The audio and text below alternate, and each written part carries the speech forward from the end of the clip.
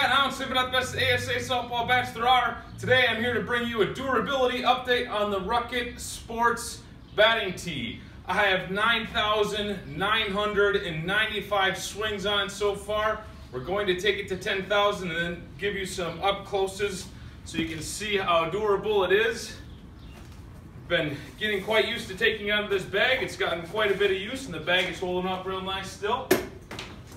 Take the tee out, fold the legs down, twist and pull out the middle, put it on the other side, twist, and you're ready to go. Let's get some more swings on it. All right, this is 9,996. Now the other thing I've noticed, I've never hit this tee over yet. I mean, you can really,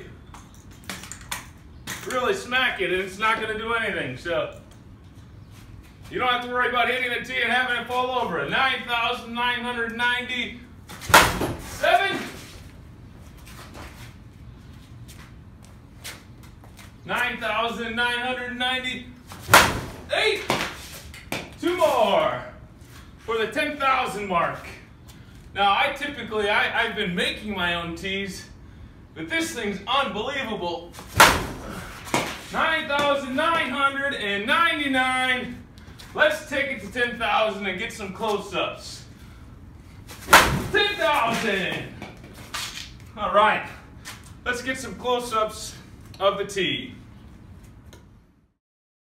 All right, well, I wanted to take at least one video of it about halfway through, uh, just in case it broke between here and to the 10,000 mark, which is what I wanted to get to.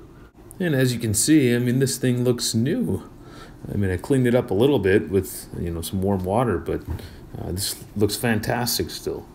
Now, keep in mind that most of these swings took place in a cold garage up in Wisconsin through the winter. And here we are again. It's over the 7,000 mark, still looking great. This time I intentionally didn't wipe it up, so I left all the dirt on it. Now I also used weighted training balls uh, on the tee throughout the winter, and the, the telescoping never lost any strength throughout the whole time, which I was very impressed with. I was also impressed that the tee never fell over a single time through all the swings. I've also enjoyed how simple it is to set it up, and the height range on the tee is wonderful. And of course, with this many swings on the tee and it being carried around in the bag, the bag gets some good wear and tear, but that has held up well too. All right, let's see what it's like after 10,000 swings. Look at that. Now, I washed this up with some warm water and a rag for its final showcase, but that looks brand new still. So this is what I have to say about this tee. I was skeptical on how long this could last, and when I thought about getting it to the 10,000 mark, I didn't think you could make it. But wow, was I wrong. This tee clearly passes the durability test in my book. Well, there you have it. Durability update on the Rukket Sports batting tee. Not really a microphone, just being silly.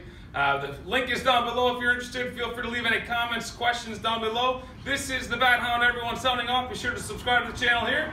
Check out some other videos here and here. Thanks, everybody.